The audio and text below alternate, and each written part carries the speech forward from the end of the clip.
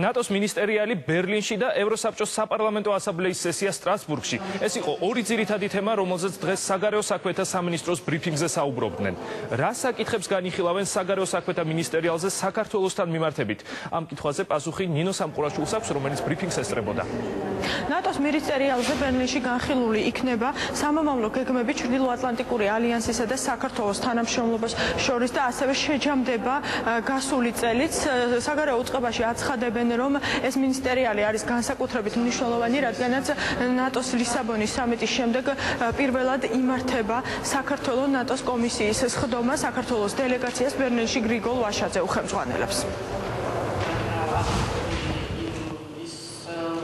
ყველა წევრი ქვეყნის მინისტრი მონაწილეობს და ამავდროულად მნიშვნელოვანია რომ პარალელურ რეჟიმში იგეგმება საქართველოს დელეგაციის მონაწილეობა ნატოს საგარეო საქმეთა მინისტრების შეხვედრაში. აისაფის მონაწილე ნატოს არაწევრი საგარეო საქმეთა მინისტრების მინისტრების ხელმძღვანელობით და მათი მონაწილეობით.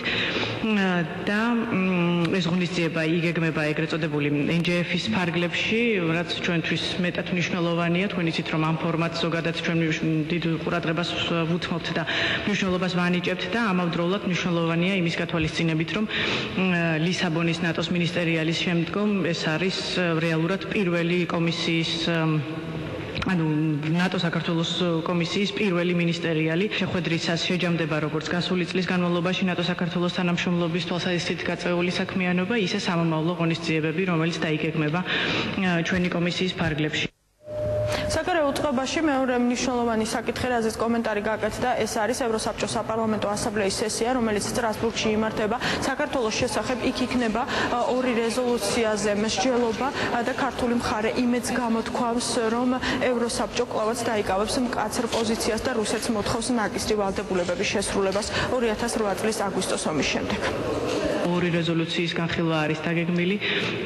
საპარლამენტო ასამბლეის ფარგლებში ამავდროულად ერთი ეხება თვითონ ჰუმანიტარული საკითხების შეფასებას აგვისტოს ომის შემდეგ და ამავდროულად იხილება ჩვენთვის მნიშვნელოვანი საკითხი ისეთი როგორიც არის იმ რეზოლუციის გადახედვა რომელიც ეხება სწორედ რუსეთზე დაკისრებული ვალდებულებების შესრულება არ შესრულების საკითხს. იმედი გვაქვს რომ ევროსაბჭო როგორც ყოველთვის მხარდამჭერი იქნება საქართველოს პოზიციისა ჩვენ არ გონია რომ მის მიერ დადგენილი რეზოლუციის რაიმე ფორმით გადახედვა მოხდეს და იმედი გვაქვს რომ კვლავ კაცრად დააყენებს მის მიერვე დადგენილი ვალდებულებების შესრულების საკითხს. წყობაში კომენტარი გაკეთდა ასევე მალაისიაში დაკავებულ ქართველებთან დაკავშირებით. ცნობილი არის, რომ სასამართლო პროცესი უნდა გამართოს 15 აპრილს, თუმცა საგარეო საქმეთა მინისტრის მოადგილის განცხადებით ზუსტი ინფორმაცია იმასთან დაკავშირებით გამართება თუ არა დარეჯან კოხტაშვილისა და ბაბუცა გორდასის სასამართლო პროცესი მალაიზიაში ამ დროისათვის არ აქვთ.